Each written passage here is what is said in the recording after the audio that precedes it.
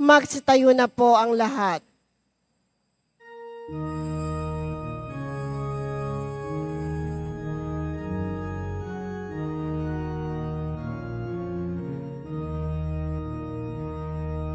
Purihin ninyo ang Panginoon, nakilain ang kaniyang halan.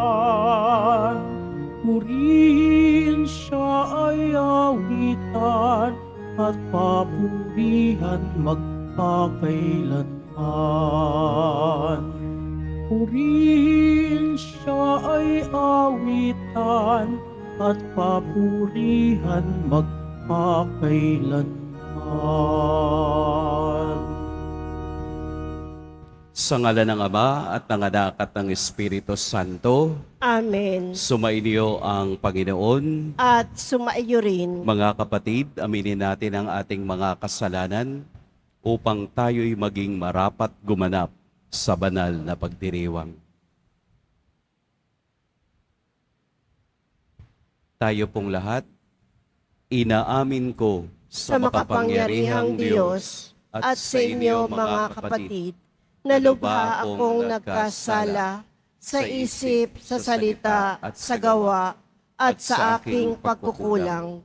Kaya isinasamo ko sa mahal na Birheng Maria, sa lahat ng mga anghel at mga banal, at sa inyo mga kapatid, na ako'y ipanalangin sa Panginoong ating Diyos. Kaawaan tayo ng makapangyarihang Diyos, patawarin tayo sa ating mga kasalanan, at patnubayan tayo sa buhay na walang hanggan. Amen. Panginoon, kaawaan mo kami. Panginoon, kaawaan mo kami. Kristo, kaawaan mo kami. Kristo, kaawaan mo kami. Panginoon, kaawaan mo kami. Panginoon, kaawaan mo kami. Manalangin tayo. Ama naming makapangyarihan, ikaw ang lumikha at tagapamahala ng tanang umiiral. Tunghayan mo kami upang ang iyong awa ay aming maranasan at ipagkaloob mong ikaw ay aming wagas na mapaglingkuran. Sa pamamagitan ni Heso Kristo, kasama ng Espiritu Santo, magpa sa walang hanggan. Amen. Magsiupo muna po ang lahat.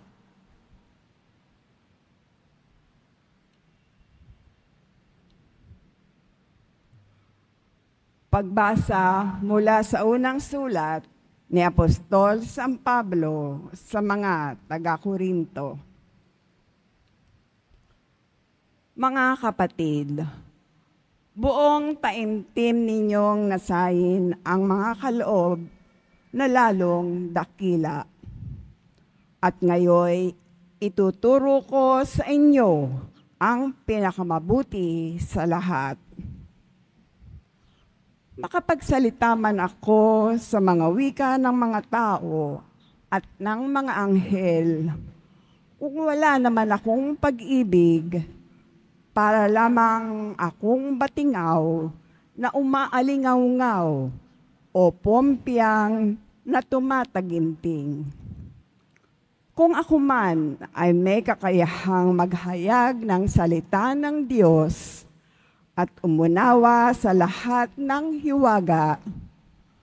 Kung mayroon man ako ng lahat ng kalaman at ng malalaking pananampalataya, ano pat napapalipat ko ang mga bundok, ngunit wala naman akong pag-ibig, wala akong kabuluhan. Ipamigay ko man ang lahat kong ari-arian at ialay ko man ang aking katawan upang sunugin. Kung wala naman akong pag-ibig, walang kabutihang maidudulot ito sa akin. Ang pag-ibig ay matyaga at magandang loob. Hindi nananaghili nagmamapuri, o nagmamataas. Hindi magaspang ang pag-uugali, hindi makasarili, hindi magagalitin o mapagtanim sa kapwa. Hindi nito ikinatutuwa ang gawang masama, ngunit ikinagagalak ang katotohanan. Ang pag-ibig ay mapagbata, mapagtiwala, puno ng pag-asa at nagkitiyaga hanggang wakas. Matapos ang kaka- kakayahang magpahayag ng salita ng Diyos, titigil ang kakayahang magsalita sa iba't ibang wika.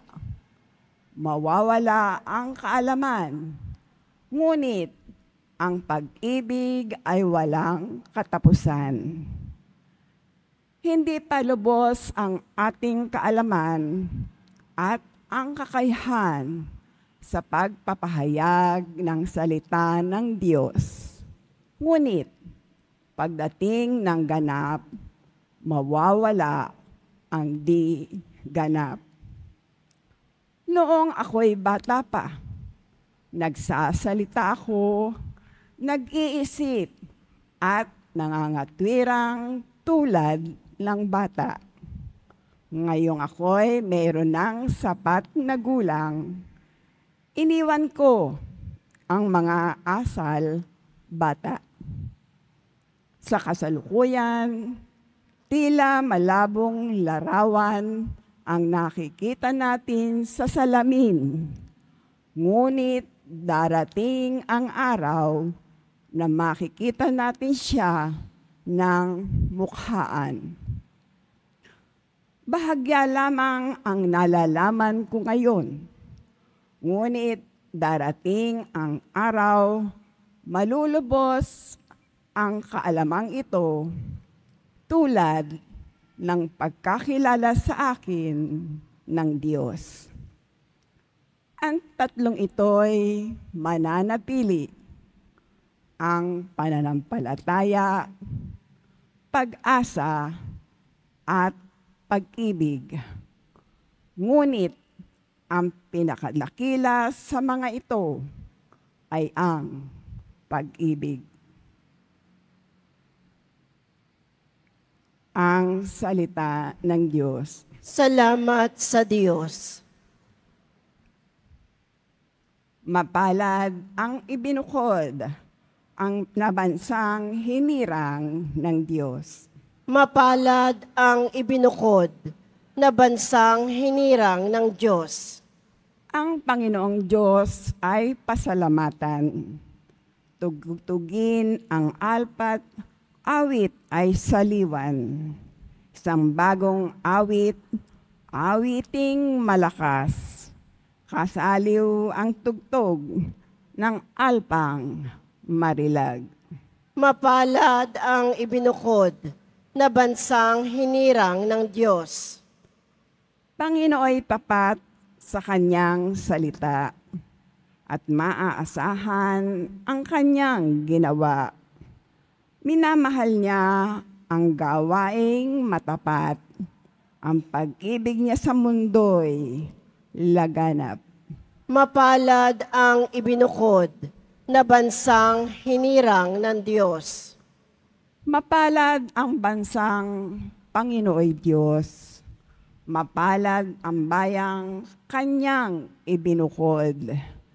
Ipinagkaloob mo na na aming makamit o puon ang iyong wagas na pag-ibig.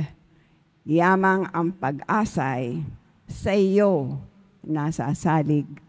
Mapalad ang ibinukod na bansang hinirang ng Diyos. Magsitayo na po ang lahat.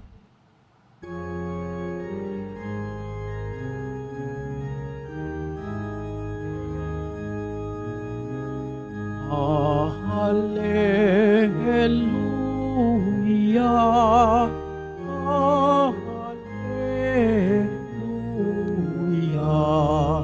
Hallelujah.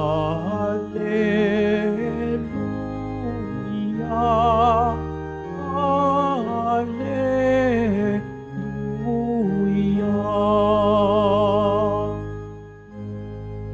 Espiritong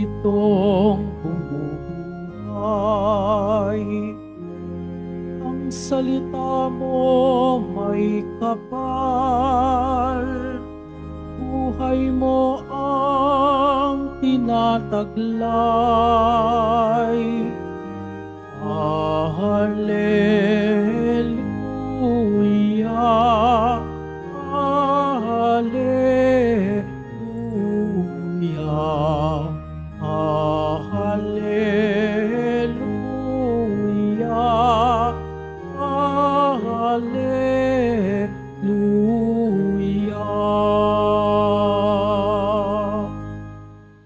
Sumainyo ang Panginoon, At sumaiyo rin. ang mabuting balita ng Panginoon ayon kay San Lucas. Papuri sa iyo, Panginoon.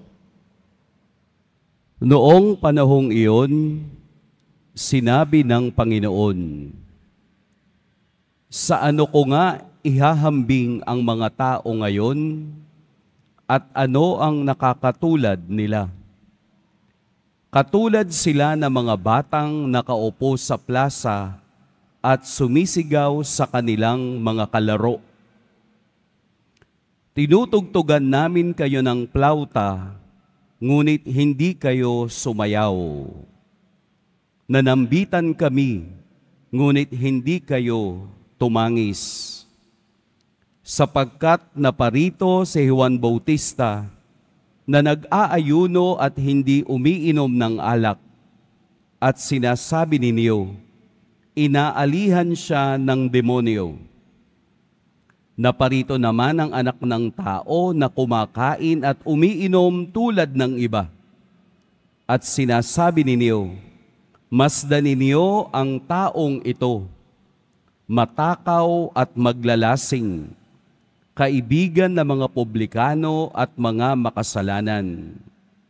Gayunman, ang karunungan ng Diyos ay napatutunayang matuwid sa pamamagitan ng kaniyang mga anak.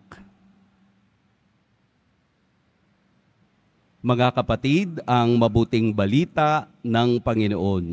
Pinupuri ka namin, Panginoong Heso Kristo. Magsiupo muna po ang lahat. Magandang umaga po sa lahat.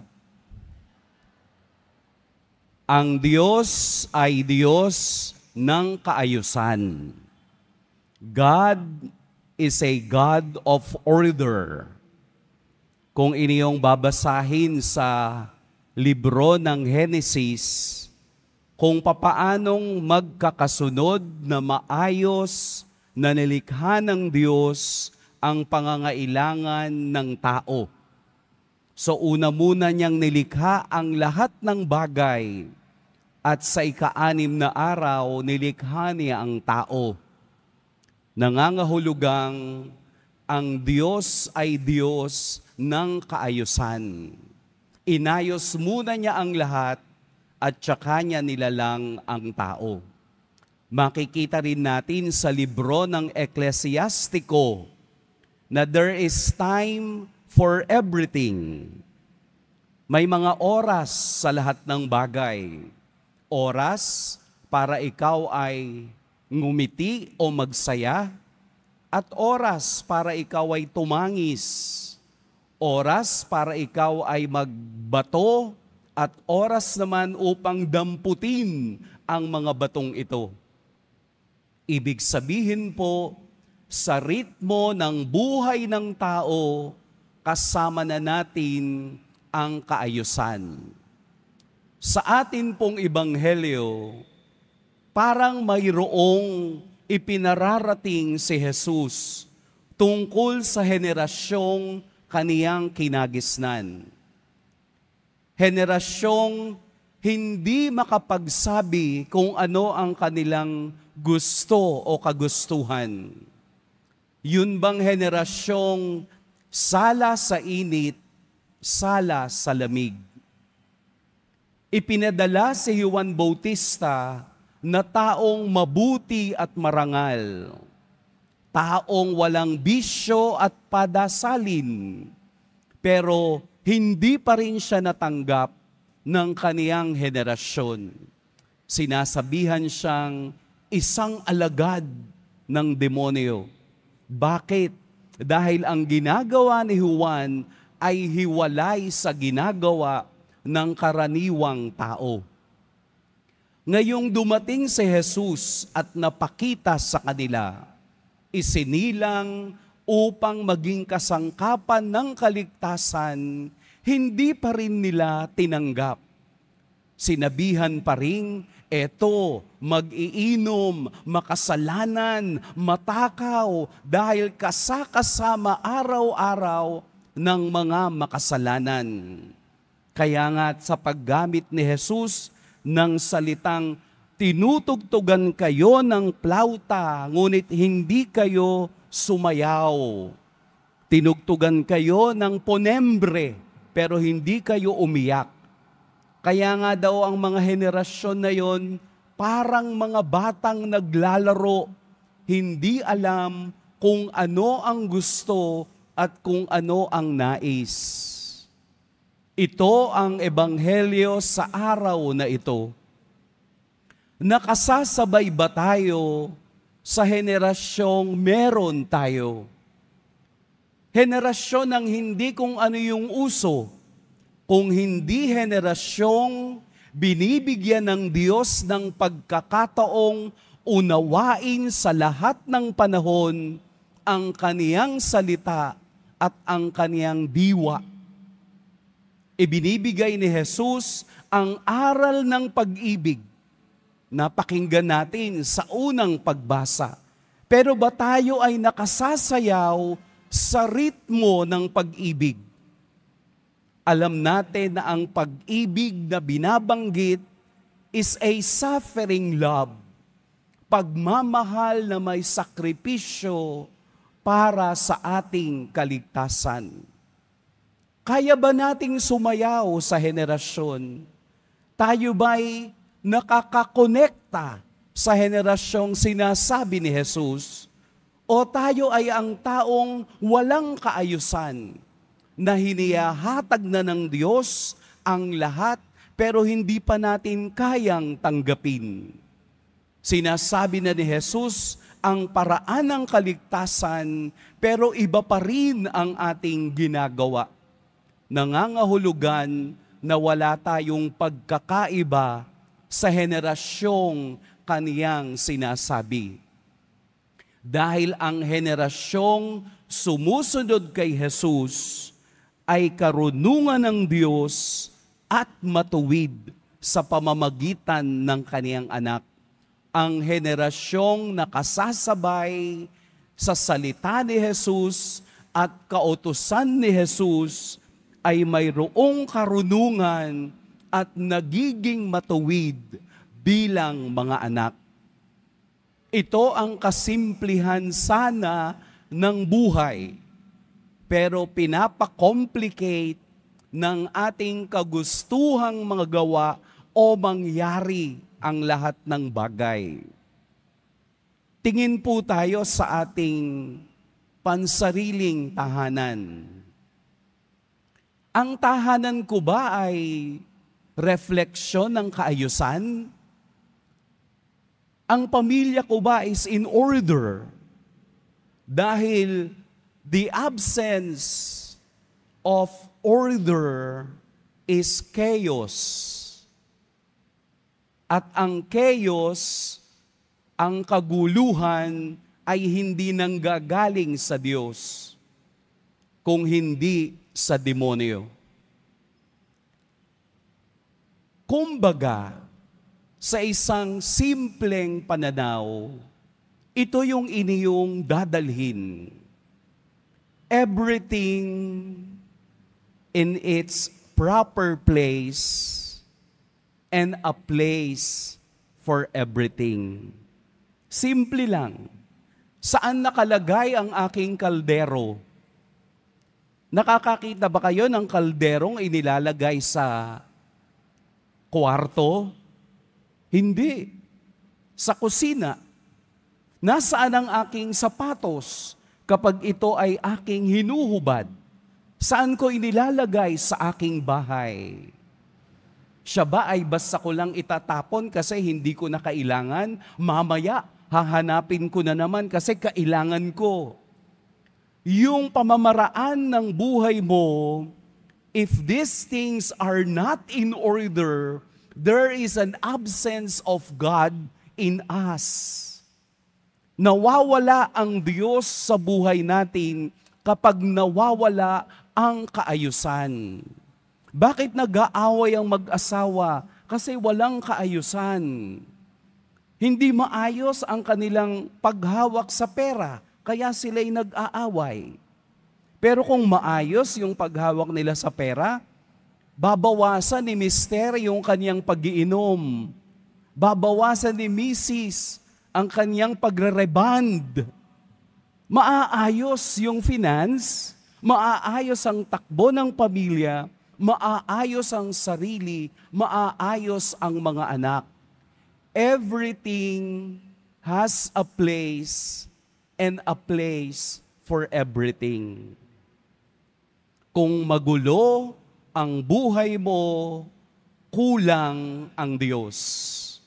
Ipasok natin ang Diyos at sumayaw tayo sa henerasyong inaawitan ni Jesus ng kaayusan at karunungan para tayo po ay hindi maligaw at maging isip bata habang buhay.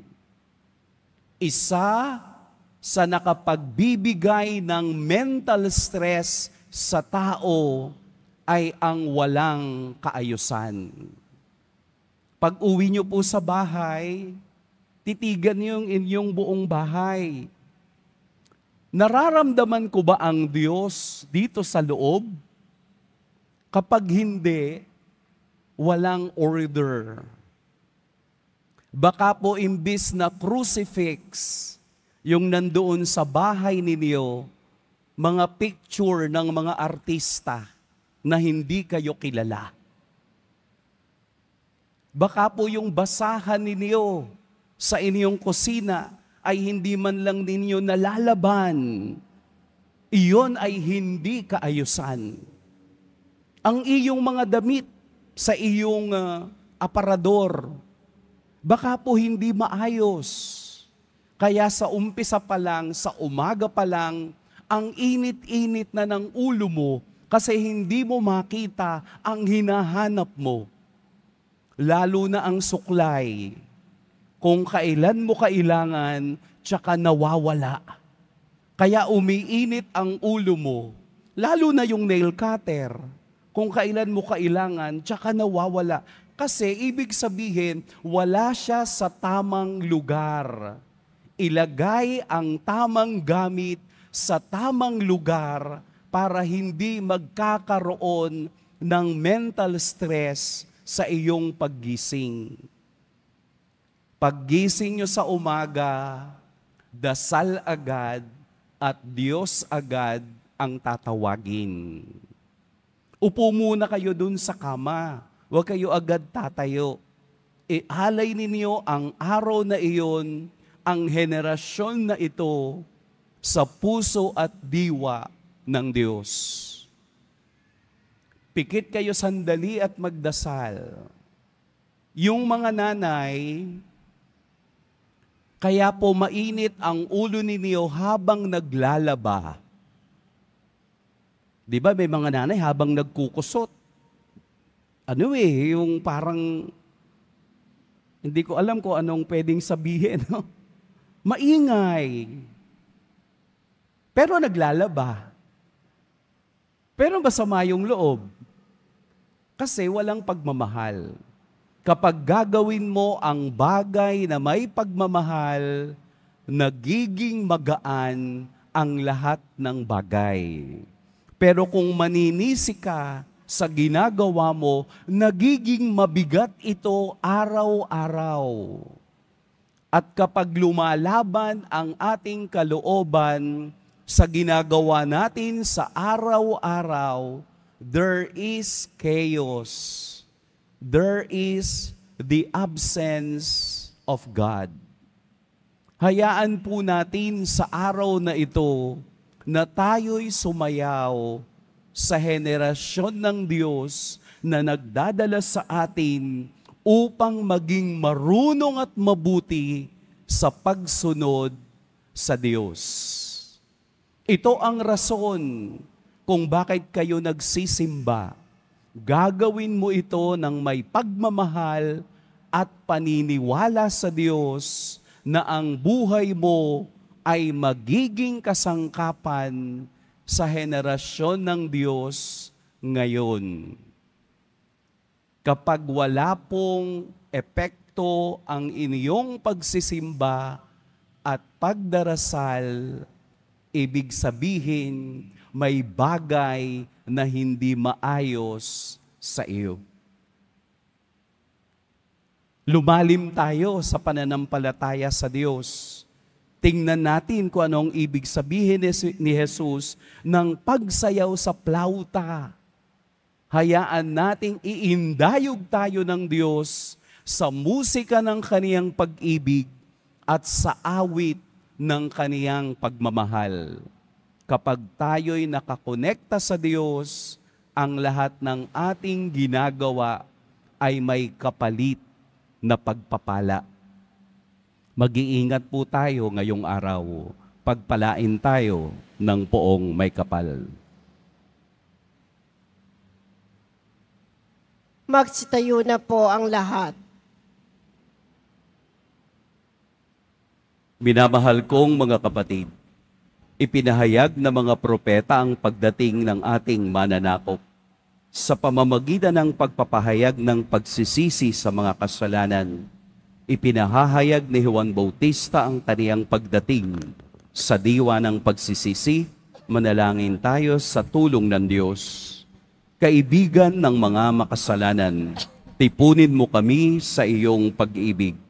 Kaibigan ng mga makasalanan, tipunin mo kami sa iyong pag-ibig. Ang simbahan naway patuloy pang umunlad at higit pang humikayat sa mga sumasampalataya sa malwalhating hapag ng kaharian. Manalangin tayo. Kaibigan ng mga makasalanan, tipunin mo kami sa iyong pag-ibig. Ang mayayaman at ang mga dukha, naway hindi umiwas sa hamon ng kaharian. Manalangin tayo kaibigan ng mga makasalanan, tipunin mo kami sa iyong pag-ibig. Tayo naway tumugon ng may katapatan sa tawag ng pagbabalik loob. Manalangin tayo. Kaibigan ng mga makasalanan, tipunin mo kami sa iyong pag-ibig. Lahat tayo naway magtalaga ng ating sarili sa gawaing pangkaharian Manalangin tayo. Kaibigan ng mga makasalanan, tipunin mo kami sa iyong pag-ibig. Ang mga yumao, naway mabuhay sa tahanan ng Panginoon at magbunyi sa hapag ng buhay na walang hanggan.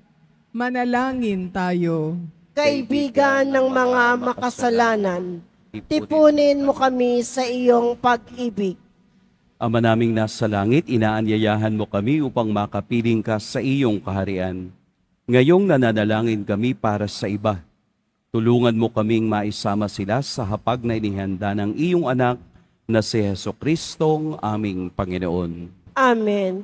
Magsiupo muna po ang lahat.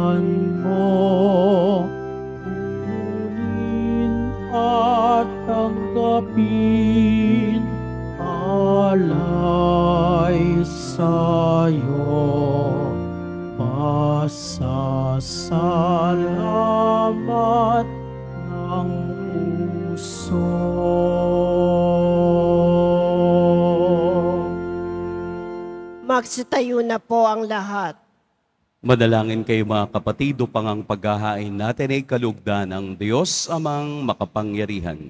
Tanggapin nawa ng Panginoon itong paghahain sa iyong mga kamay, sa kapurihan niya at karangalan, sa ating kapakinabangan, at sa buong sambayanan niyang banal.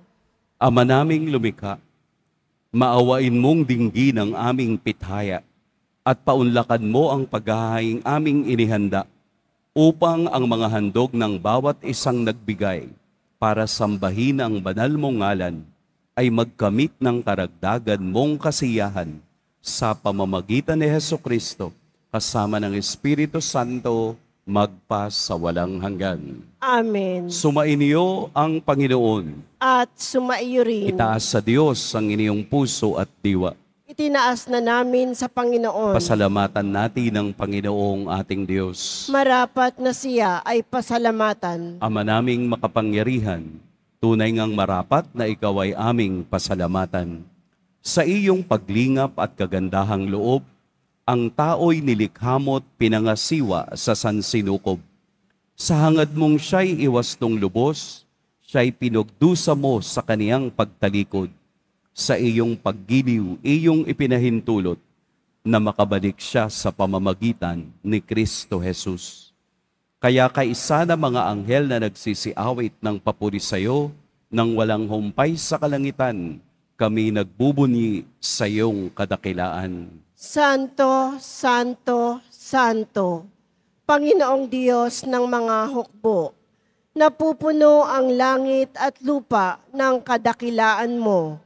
O sana sa kaitaasan, pinagpala ang naparirito sa ngalan ng Panginoon. O sana sa kaitaasan, magsiluhod po ang lahat. Ama naming banal, ikaw ang bukal ng tanang kabanalan. Kaya't sa pamamagitan ng iyong Espiritu, gawin mong banal ang kaloob na ito upang para sa amin maging katawan at dugo ng aming Panginoong Heso Kristo. Bago niya pinagtiis ang kusang loob na maging handog, hinawakan niyang tinapay, pinasalamatan kaniya, pinaghati-hati niya iyon, iniabot sa kaniyang mga alagad at sinabi, Tanggapin ninyong lahat ito at kanin, ito ang aking katawan na ihahandog para sa inyo.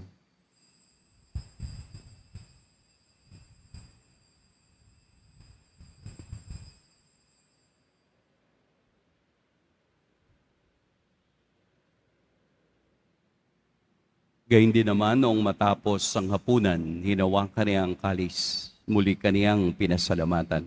Inabot niya ang kalis sa kaniyang mga alagad at sinabi, Tanggapin ninyong lahat ito at inumin. Ito ang kalis ng aking dugo.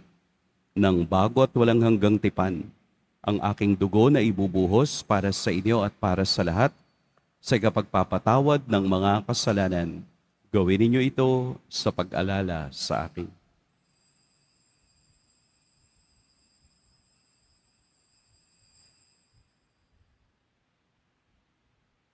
Magsitayo na po ang lahat. Ipagbunyi natin ang misteryo ng pananampalataya. Si Kristo'y namatay, si Kristo'y nabuhay, si Kristo'y babalik sa wakas ng panahon. Ama, ginagawa namin ngayon ang pag-alala sa pagkamatay at muling pagkabuhay ng iyong anak.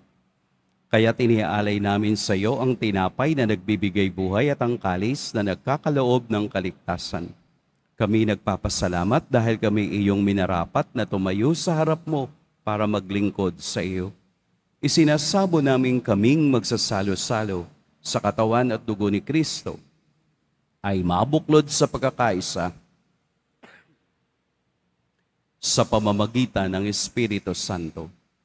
Ama, lingapin mo ang iyong simbahang laganap sa buong daigdig. Puspusin mo kami sa pag-ibig kay San Francisco na aming Papa at ni Jose na aming Obispo at ng Tanang Kaparian. Alalahanin mo rin ang mga kapatid naming nahimlay nang may pag-asang sila'y muling mabubuhay, gayon din ang lahat ng mga pumanaw.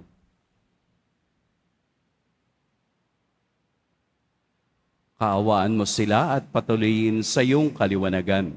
Kaawaan mo at pagindapating kaming lahat na makasalo sa iyong buhay na walang wakas. Kaisa ng mahal na Birheng Maria na ina ng Diyos, ng kabiyak ng puso niyang si San Jose, kaisa ng mga apostol ni San Juan Bautista, at ng lahat ng mga banal na namuhay dito sa daigdig ng kalugod-lugod sa iyo, maipagdiwang nawa namin ang pagpupuri sa ikararangal mo sa pamamagitan ng iyong anak na aming Panginoong Heso Kristo. Sa pamamagitan ni Kristo, kasama niya at sa Kanya, ang lahat ng parangal at papuri sa iyo, Diyos, amang makapangyarihan, kasama ng Espiritu Santo, magpas sa walang hanggan. Amen. Sa tagubilin ng nakagagaling na utos at sa turo ni Jesus na Panginoon natin at Diyos, ipahayag natin ng lakas loob.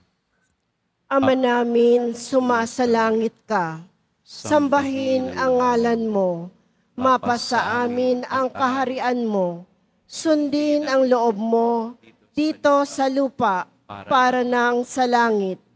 Bigyan mo kami ngayon ng aming kakanin sa araw-araw at patawarin mo kami sa aming mga sala para ng pagpapatawad namin sa nagkakasala sa amin at huwag mo kaming ipahintulot sa tukso at iadya mo kami sa lahat ng masama. Hinihiling namin kami iadya sa lahat ng masama. Pagkalooban ng kapayapaan araw-araw, iligtas sa kasalanan at ilayo sa lahat ng kapahamakan, samantalang aming pinananabikan ang dakilang araw ng pagpapahayag ng tagapagligtas naming si Heso Kristo. Sapagkat iyo ang kaharian at ang kapangyarihan at ang kapurihan magpakailanman. Amen. Panginoong Yeso Kristo, sinabi mo sa iyong mga apostol, kapayapaan ang iniiwan ko sa inyo, ang aking kapayapaan ang ibinibigay ko sa inyo.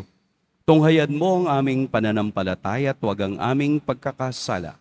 Pagkalooban mo kami ng kapayapaan at pagkakaisa ayon sa iyong kalooban, kasama ng Espiritu Santo, magpas sa walang hanggan. Amen. Ang kapayapaan ng Panginoon naway laging sumainiyong lahat.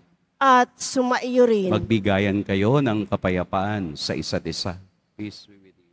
Peace be with you. Kordero ng Diyos na nag-aalis ng mga kasalanan ng sanlibutan, maawa ka sa amin.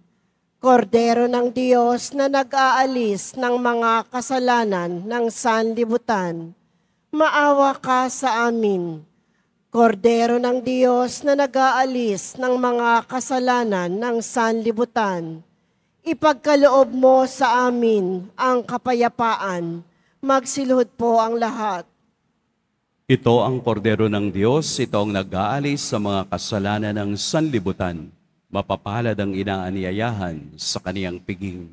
Panginoon, hindi ako karapat-dapat na magpatuloy sa iyo. Ngunit sa isang salita mo lamang ay gagaling na ako.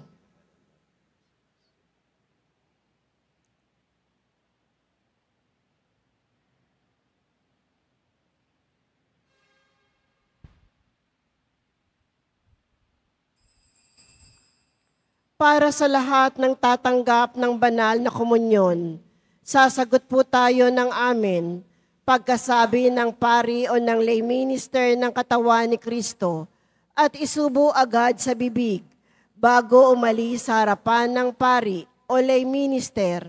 Sumunod po tayo.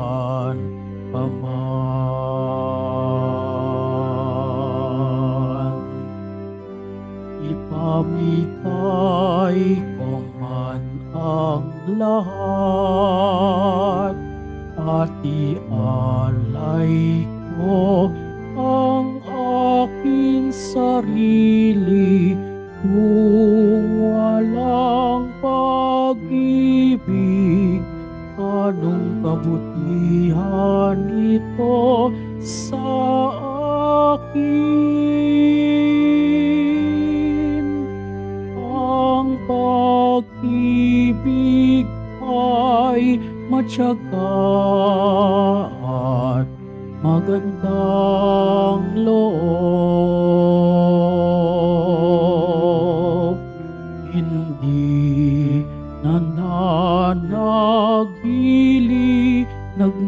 Nagmamapurit, nagmamataas. Ang pag-ibig ay mapagkalinga, mapagtiwala puno ng pag-asa.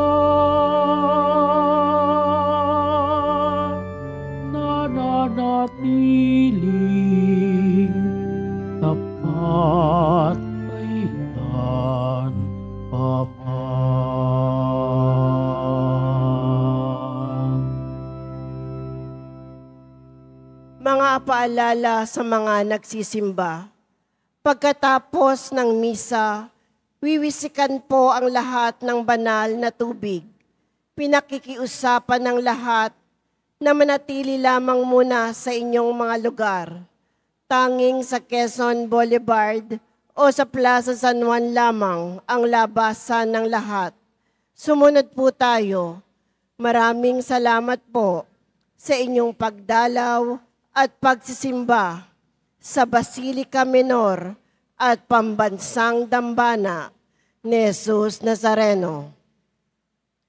Magsitayo na po ang lahat. Manalangin tayo. Ama naming mapagmahal, ang aming kalooban naway pagharian ng aming tinanggap na pakikinabang, upang huwag ang diwa namin ang umiral, kundi ang bunga ng pagdiriwang na laging mamamayani sa amin kailanman, sa pamamagitan ni Heso Kristo, kasama ng Espiritu Santo, magpa sa walang hanggan. Amen. Sumainyo ang Panginoon. At sumaiyo rin. Yumuko kayo para sa pagbabasbas. Mahal na poong Jesus Nazareno, inihayag mo sa pamamagitan ng krus ang walang maliw na pag-ibig ng Diyos sa sangkatauhan. Pakinggan mo po ang kahilingan ng iyong angkan na nagsusumamo sa iyo. Makamtan nawa nila ang iyong katugunan at tanggapin ang kasagutan na may utang na loob na tinatanaw. Basbasan din po ninyo ang mga daladala nilang mga imahen at dasalan. Sa pamamagitan ng bendisyon na ito, naway maalala nila ang mga pangako nila noon sa biniyag na ikaw ang kanilang iibigin at paglilingkuran bilang Panginoon magpa sa walang hanggan. Amen. At pagpalain kayo ng makapangyarihan at mapagmahal na Diyos, ang Ama at Anak at Espiritu Santo. Amen. Tapos na ang ating pagdiriwang. Humayo kayong taglayang kapayapaan ng poong Jesus Nazareno. Salamat sa Diyos.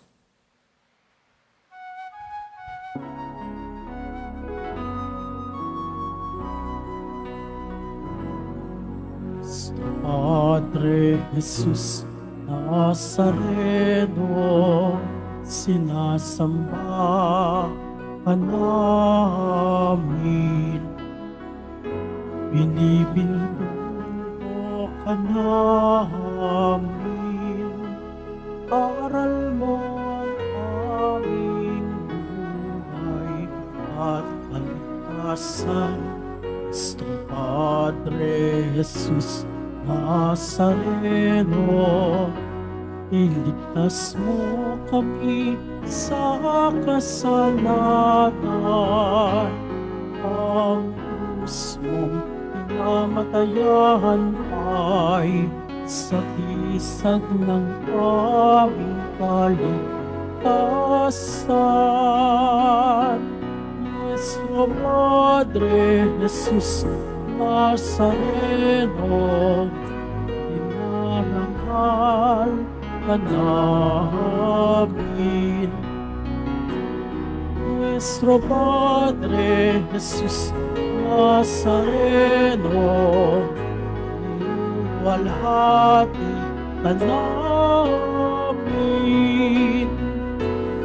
Nuestro Padre Jesus Nazareno, dinarangal ka namin. Nuestro Padre Jesus Nazareno, alhamdulillah